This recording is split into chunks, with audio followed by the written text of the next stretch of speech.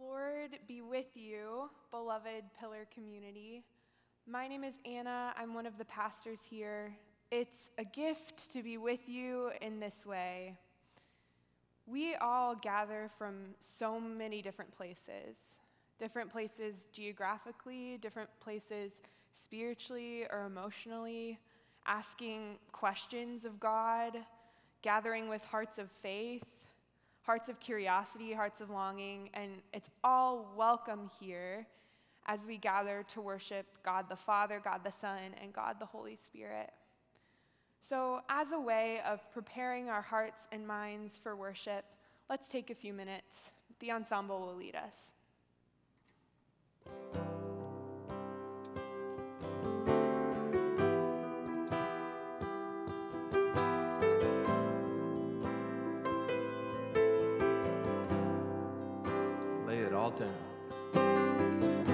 Lay it all down, lay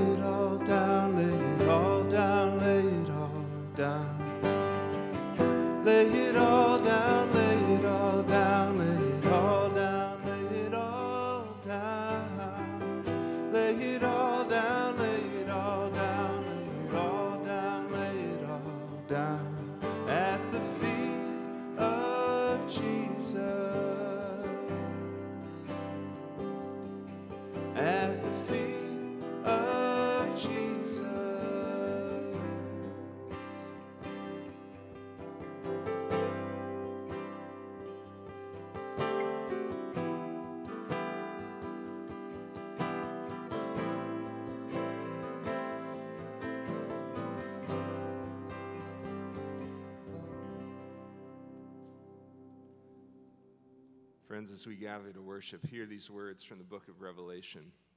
Great and amazing are your deeds, Lord God the Almighty. Just and true are your ways, King of the nations. Lord, who will not fear and glorify your name? For you alone are holy. Let's continue to sing together, Holy, Holy, Holy.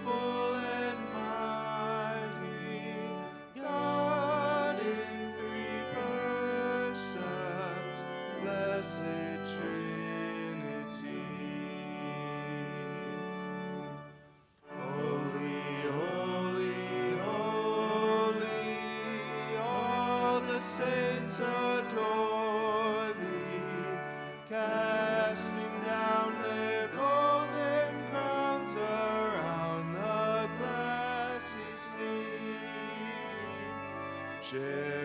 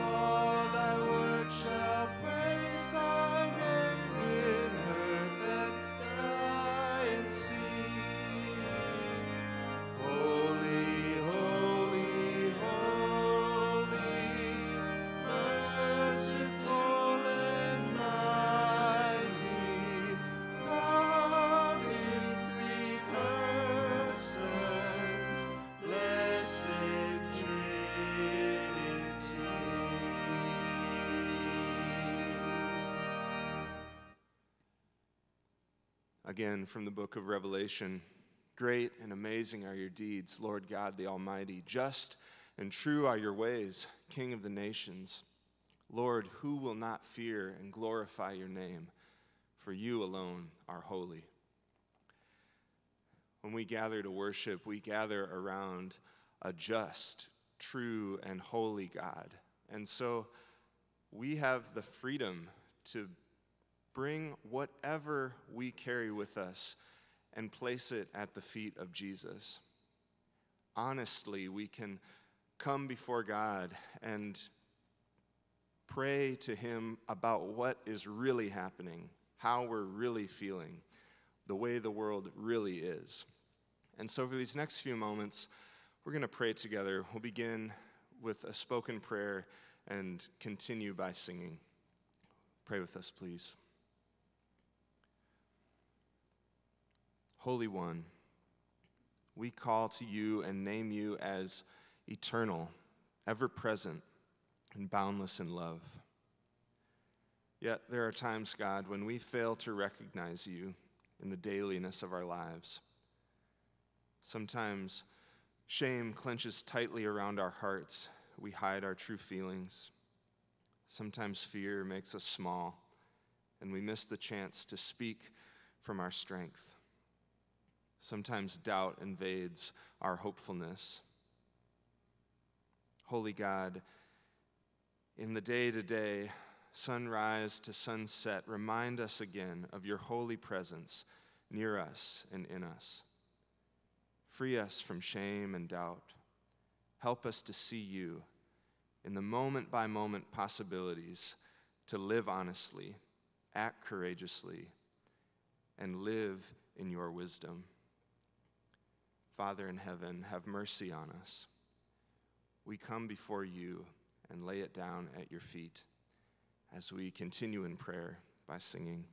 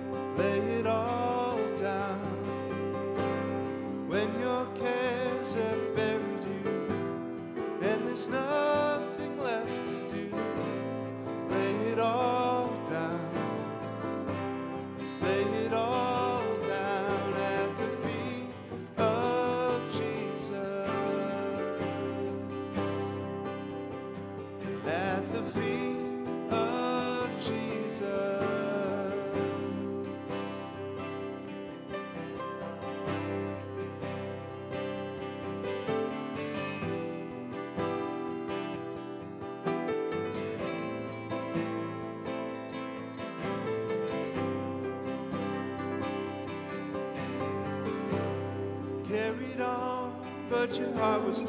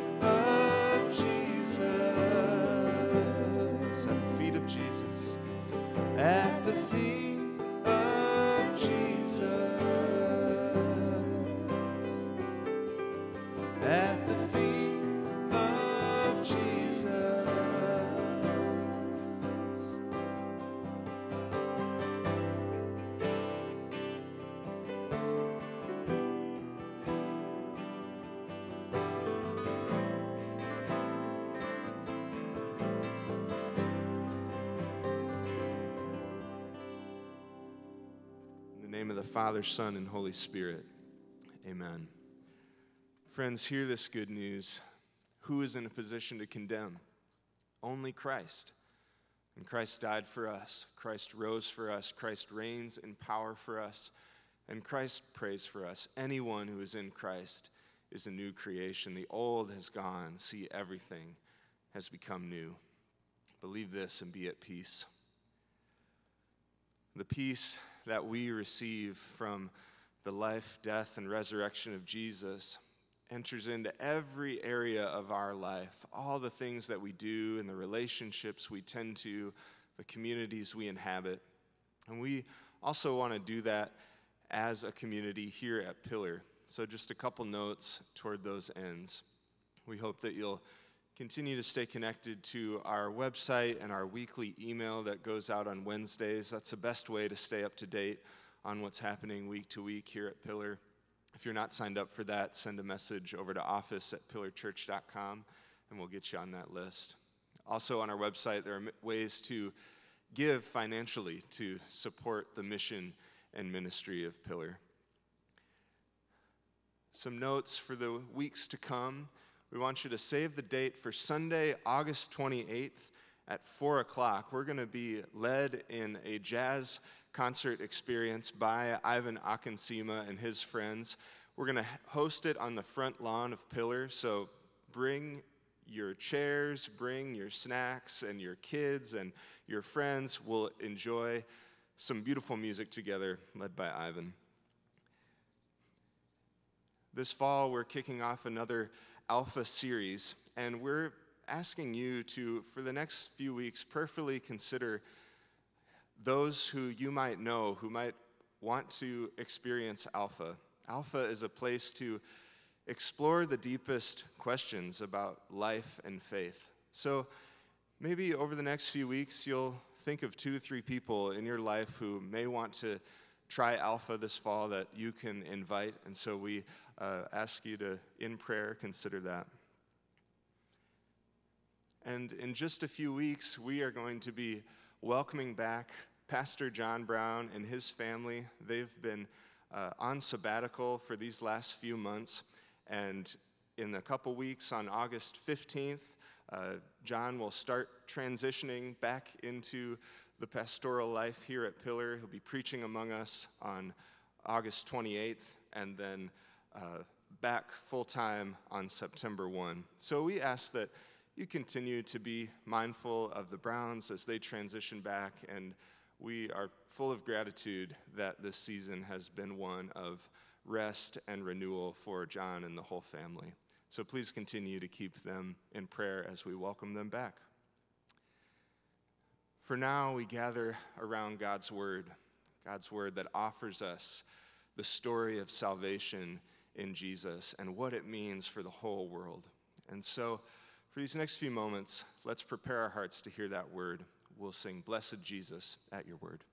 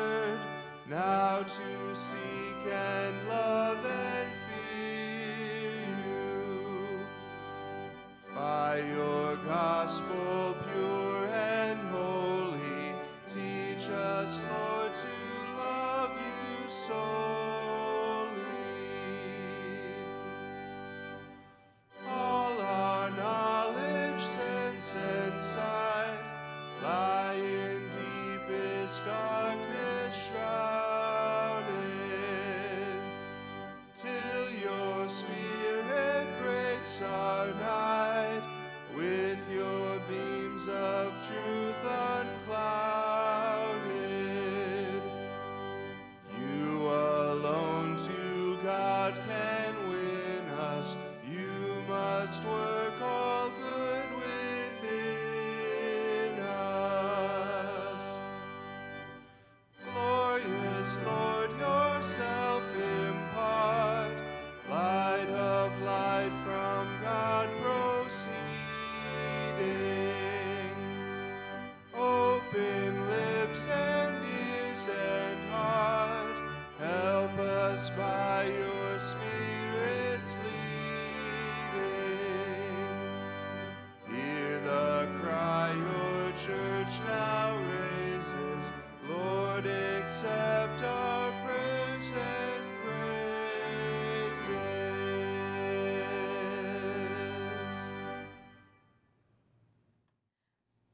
Friends, I'm sure you've noticed that our preaching schedule this summer has been a whole smattering of passages from across the Bible, and that's been kind of fun.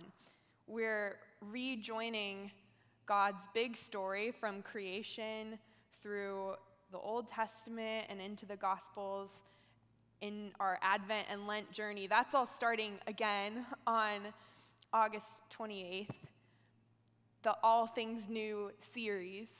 So before then, we have a couple weeks.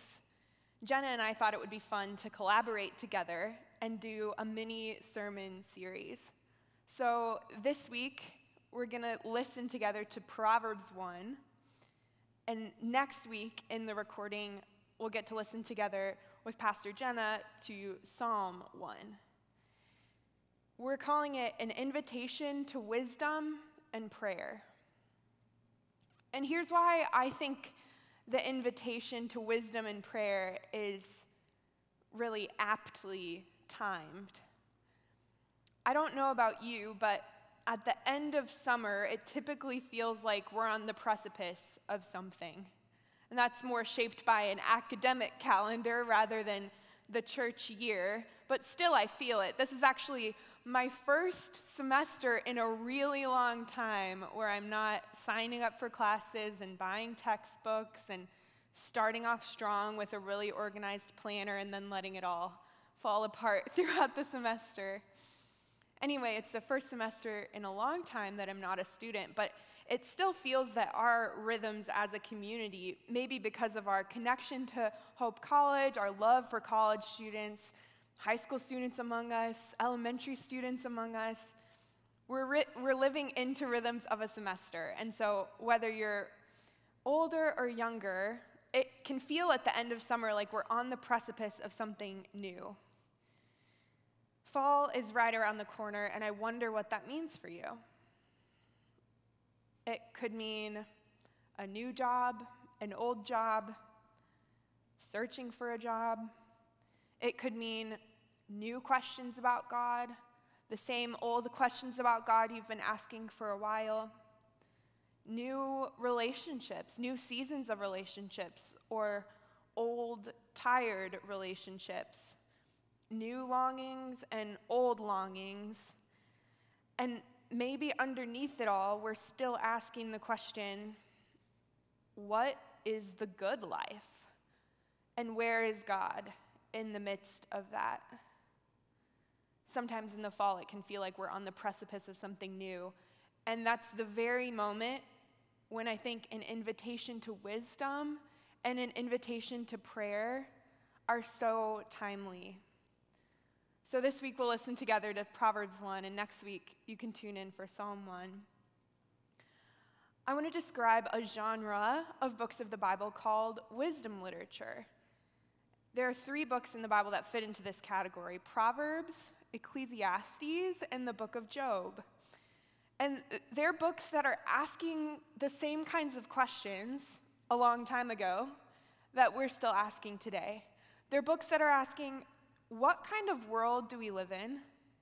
And what does it look like to live well in that world? In short, what is the good life? And where is God in the midst of it? So listen with me to Proverbs 1. I'm curious what you'll notice. It's a chapter that sets the stage for a life of wisdom. The Proverbs of Solomon, son of David, king of Israel. For learning about wisdom and instruction, for understanding words of insight, for gaining instruction in wise dealing, righteousness, justice, and equity, to teach shrewdness to the simple and knowledge and prudence to the young. Let the wise too hear and gain in learning, and the discerning acquire skill. To understand a proverb and a figure, the words of the wise and their riddles. The fear of the Lord is the beginning of knowledge. Fools despise wisdom and instruction. Hear, my child, your father's instruction, and do not reject your mother's teaching, for they are a fair garland for your head and pendants for your neck.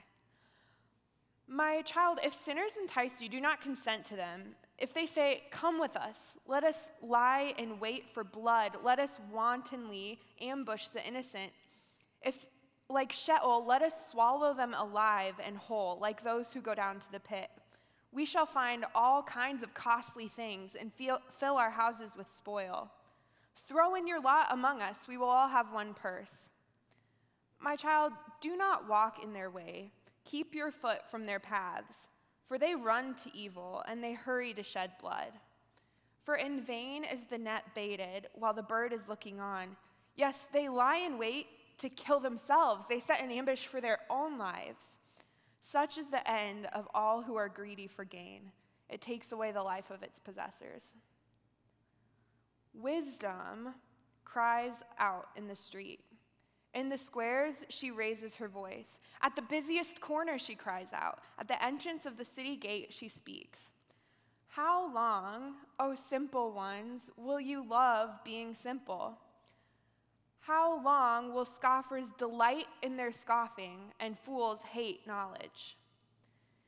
Give heed to my reproof. I will pour out my thoughts to you. I will make my words known to you.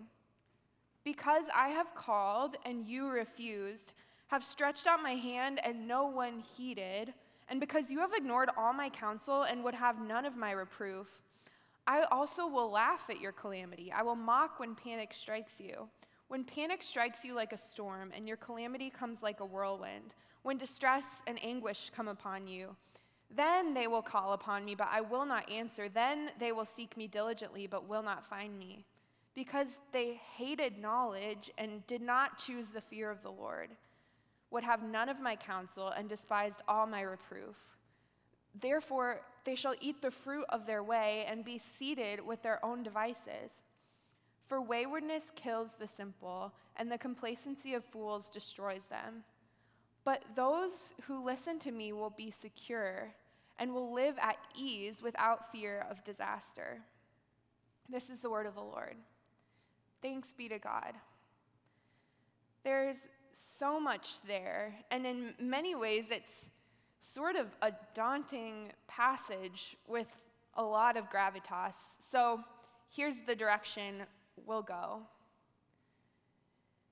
In our invitation to wisdom and invitation to prayer, I want to focus on a definition and a question. First, a definition. I wonder for you what comes to mind when you think of wisdom. What is wisdom? Maybe it's someone in your life who personified wisdom, who was a really clear example of the wise way. Maybe a mentor or a friend, someone whose words you could trust, someone who lived with integrity. Wisdom, defined through a commentary I was reading, sounded a bit like this experiential knowledge, the effort to discover order in human life, skill for life, compressed experience, a quality of mind and spirit that directs all human activity toward its proper end, or a flash of insight into the repeatable situations of life in the world. I think there's some truth in those definitions, and I also think they're a little bit vague. What does specifically Christian wisdom look like? And here's why I love reading the Old Testament with the assurance that we also have the New Testament. Our starting point for the Old Testament is always to read backwards. What I mean by that is that we read as ones who know Christ have been befriended by Christ and who find our lives in Christ. And so, reading Proverbs Christologically, and what that means is just in light of Christ, changes everything. Because Christ Jesus has become for us wisdom from God, or at least that's the way the Apostle Paul puts it in 1 Corinthians. Christ has become for us wisdom from God. What is wisdom? Where can we find our definition? Wisdom is a person, wisdom is Christ Himself. So in Christ, we can choose the fear of the Lord, like in verse 29. And by the power of the Holy Spirit in us, we can be people who choose to listen, like in verse 33. And it's all held in this conviction that Christians have that God can actually guide us in how we live. That's profound. The wisdom of God that God used to create the world is wisdom that God also gives to us to help us live in alignment with God's good, true, beautiful purposes for the world. And, and living a life of wisdom isn't actually up to us because Christ is the perfectly wise one walking the path of wisdom on our behalf, ahead of us, for us. So when you read Proverbs, which I'm suggesting you might as a part of this invitation to wisdom and prayer, read as one who is already walking the path of wisdom because you belong to Christ. And be careful and awake and at the ready because wisdom and with it, the Christ life is a countercultural endeavor. Here's the good news Christian life is actually not about being better and doing better.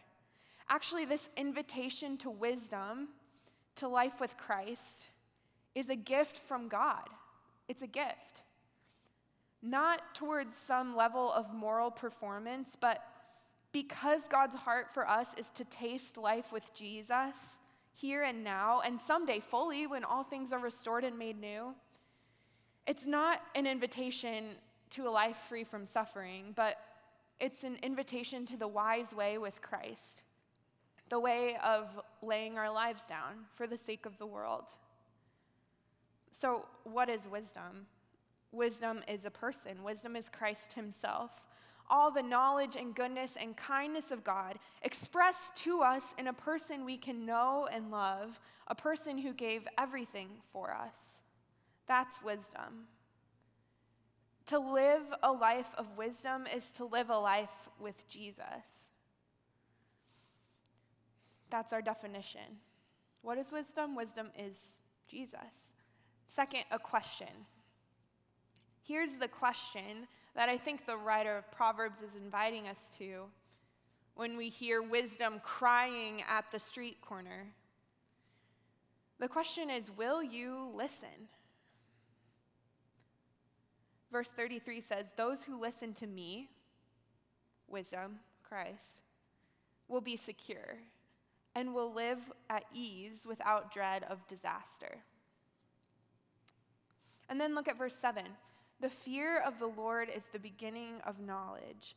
Fools despise wisdom and instruction. The message paraphrase puts it this way Start with God. The first step in learning is bowing down to God. So here's the question Will we listen? If it's true that the fear of the Lord is the beginning of wisdom, will we listen? Wisdom cries out. Will you make space to listen? To listen to the voice of wisdom, to listen to God's voice. Imagine the landscape of verses 20 and 21. Wisdom crying out in the street. Imagine the busiest moments of your life, the public square where you find yourself. It was a noisy street corner. Imagine the hospital, the clinic, the admissions office, wherever you find yourself. What might God's wisdom be crying out in that place? Wisdom is not just crying out in our perfect devotional chair and cup of coffee situation in the morning. Wisdom is calling out in the streets, and wisdom looks like justice, equity, and righteousness. Wisdom is not just a short program of nice things to say, it's actually a very public endeavor. To embrace the Jesus story of death and resurrection is to embrace a certain story of wisdom that is quite public. It's a story that calls out to us and to the world in the most public of places. If the Christ story is true, it's bursting forth with wisdom through every nook and cranny of the world, every marketplace, street corner, and classroom. So, will you listen? Will we be a people who listen? For the voice of Christ, our true wisdom, calling out in the most private and the most public of places. So let's start with God. The first step of wisdom, the first step of listening, is bowing down to God. Will you listen? What might that look like for you? Listening to God's wisdom in Christ. Maybe it's creating space, those early morning moments to listen to God in the silence. Or maybe it's listening for Christ's wisdom as a sustaining voice in your most difficult of relationships. Maybe it's entering into a rhythm of praying the Psalms and reading the Proverbs as a way to give ear to God's voice of wisdom, calling out amidst the noise of our world.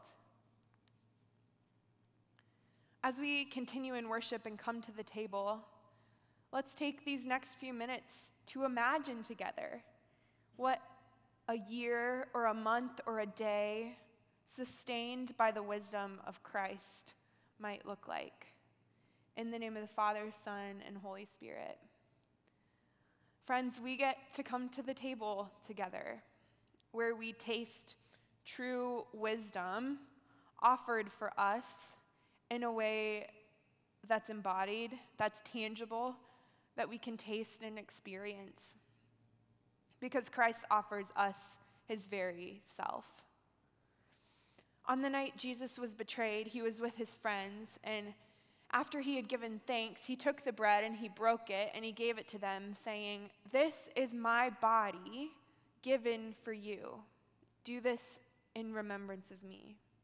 And in the same way, he took the cup and he poured it out and he gave it to them, saying, This cup is the new covenant of my blood, poured out for the forgiveness of sins. Do this as often as you drink it in remembrance of me. Friends, this is the body and the blood of Christ given for you. Feel free to partake in your homes where you are as we continue in worship. If you'd consider yourself a Christian, you're welcome at this table. If you're not at that place in life or in faith or for any other reason choose not to partake, we just invite you to consider what you've heard. Become aware of the questions you're asking about life, about true wisdom, about God. And I would love to have a conversation. Feel free to shoot me an email, anna at pillarchurch.com. Friends, come hungry, for the table is set, all things are ready. Christ offers himself to us here and now. Amen.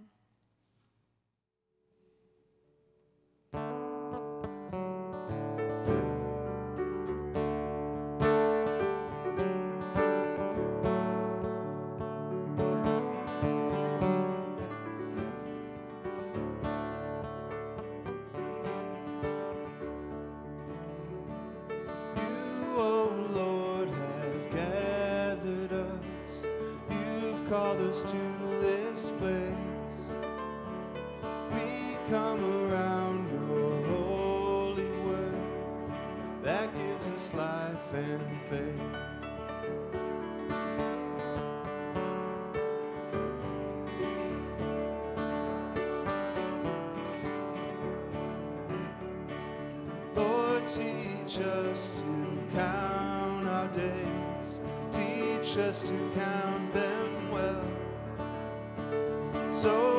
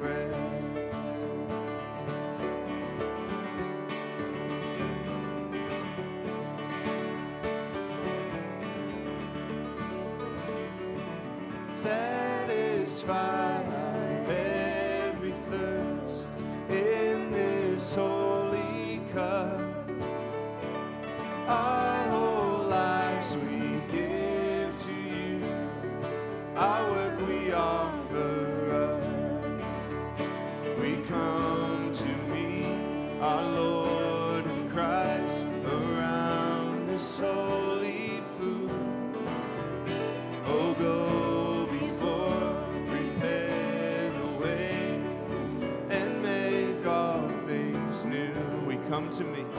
We come to me, our Lord in Christ.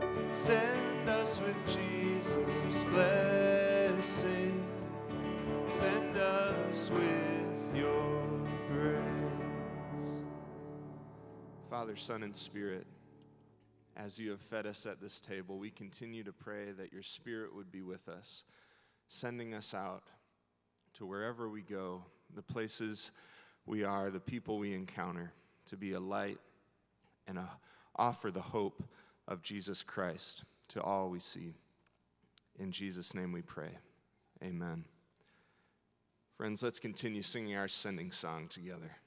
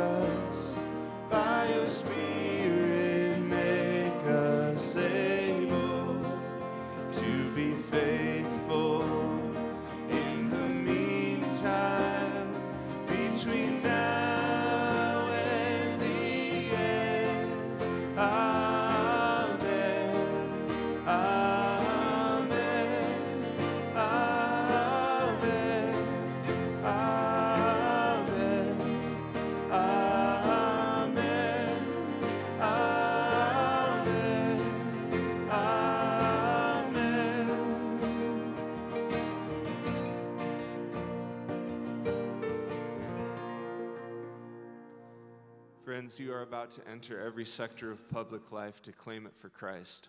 So, as you do, may the grace of the Lord Jesus, the love of God, and the fellowship of the Holy Spirit be with you now and always. Amen. Go in peace.